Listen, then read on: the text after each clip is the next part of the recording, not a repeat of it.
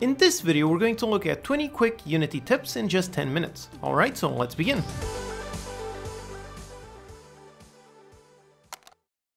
Alright, so let's begin with tip number 1. Use a white pixel in order to visualize sprite renders. So in the hierarchy, if you right click, create a 2D object and make it a sprite. If you do, then you can't see anything. That is because the sprite renderer doesn't render anything if over here on the sprite field there's nothing assigned. So an extremely useful thing to have is to have a simple white pixel texture. And if you drag it, and there you go, now it's visible, you can stretch it, you can paint it into any color, and so on. So this is literally a texture, just a one by one white pixel, which you can make it in Paint or Photoshop or really any imaging program. Tip number two, use the inspector debug view. Now, when making your scripts, if you're following clean code principles, then most of your fields should be set to private.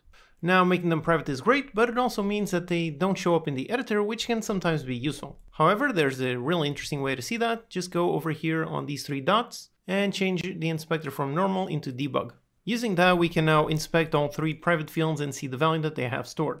Now, as another bonus tip, you can also make multiple inspectors. So go up here, right click, click on add tab, add another inspector. And for example, you could have a normal inspector and then next to it a debug inspector. So there it is, very useful. Now tip number three, you can automatically create a material to use a specific shader. So down here in my project files, I have a very simple shader. And now when you want to make a material, you might go into the folder that you want to place it in, right click, go into create and create a new material. So that creates a material, then over here you'd go into shader and select your actual shader. So that works, but another quick shortcut is to right click directly on top of the shader and create a new material, and it automatically creates it using that shader. Tip number four, learn about the buttons to swap between pivot and center and local and global. So this is something you absolutely must know, otherwise it will drive you crazy. Up here on the top left corner, you see these two buttons. So this one, as you click, it changes from pivot to center, and this one changes from global to local. Now this affects where the handles are positioned in the scene view. So here let me create just a random object. So here it is, just an object with two child sprites inside it. And now if I select on the parent, and over here is set to pivot, then the handle shows up on the actual pivot of this object. However, if I click on it and select the center, now it's over there in the center. So for example, down here, this little white dot is on 000, and then let's say I want to place this parent also on 000, then if I were to go over here and place it on 000, then if you didn't know about these, you would be very confused as to why the position is on 000, but the handle is not. So this can cause a ton of confusion. And it works the same on all the others. So for example, if I rotate over here on the Z, I would be very confused as to why it is not rotating exactly where the handle is placed. So again, keep in mind on these two, and usually you probably want to keep it always on the pivot. Then the next one is the global and local.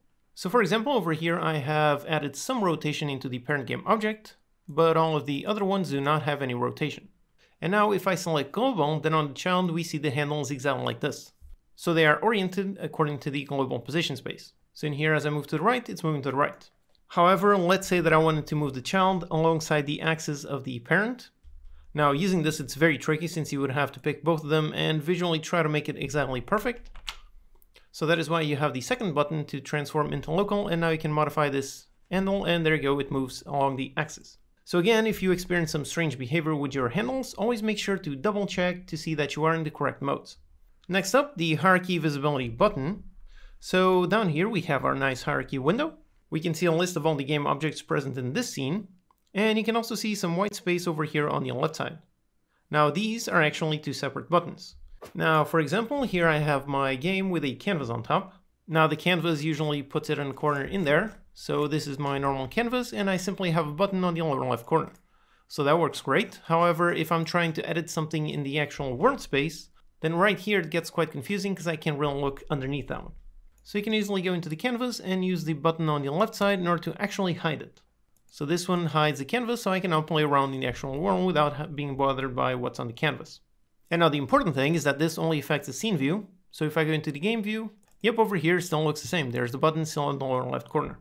So this button toggles the scene visibility for any game object so you can get a clear view of what you're working on.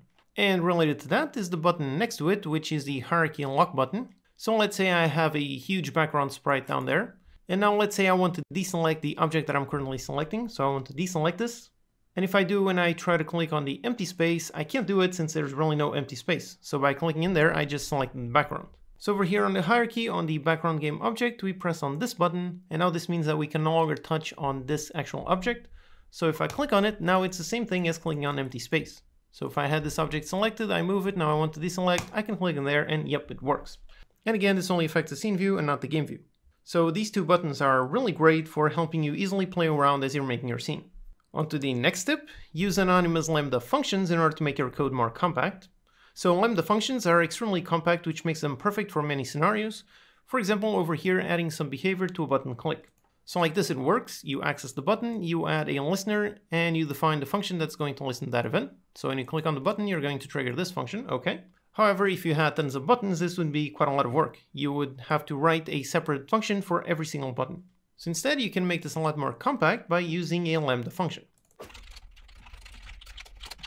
And yep, there it is. Over here, we have the exact same thing that we have down here. So we have a function that takes no parameters, and then inside we have our code block, and in this case, we just have a comment. So you can use lambda functions whenever you need a delegate. So another use case is when dealing with events. Let's say you don't want to define an actual function, so you can do plus equals, and over here write down the signature. And yep, there you go, exactly like that. So lambda functions are extremely useful for making your code more compact. If you want to learn more, go watch the video where I cover delegates in detail. Next step, you can destroy a script with destroy. Now, for example, let's say you want to run some code after the very first update. So you make the script, it does something on late update, and over here we want to do it just once. And in order to do that, you can simply just call destroy, and over here we pass in this, which is going to pass in the reference to this particular script.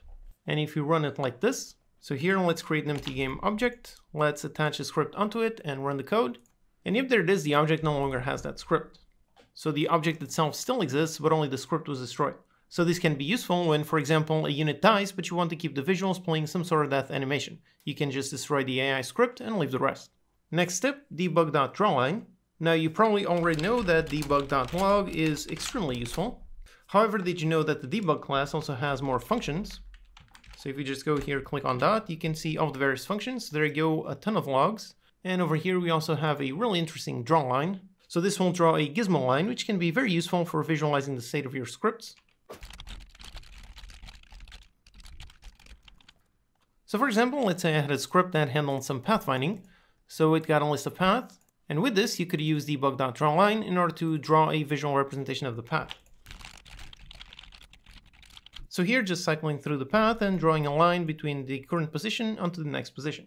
And yep, over here we can see the inner workings of that class. So we can see that we have a path going from there, there, there, there. So it's a really useful tool when you have some debug info that you want to show with some visual rather than just some text.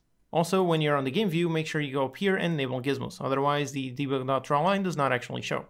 Alright, so time is almost up, so let's go through some quickfire tips.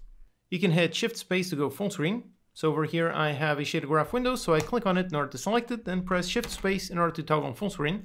So very useful to work around on shader graph, then go back and go back into the game scene. Next one, you can hit Control D in order to duplicate any object. So it works in the project files and it also works over here on the hierarchy. For another one, you can press F2 to rename something. Again, works with the hierarchy and also with the project files.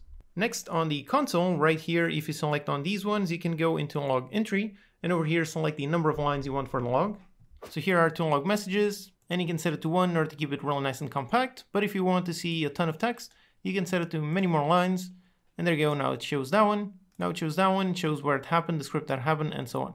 Next up, use the widget to modify the collider size. So over here I've got a cube with a box collider, can click on this button, and there you go, now it shows a bunch of dots that you can grab, so click and drag, and there you go, you can set the collider to exactly the same size that you want, without having to touch here on the numbers for the center and the size.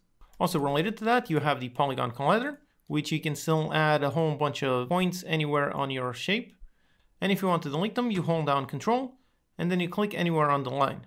Now just keep in mind you have to click on the line in order to delete and not on top of the point. If you click on top of the point, nothing happens, have to click on the line in order to delete it.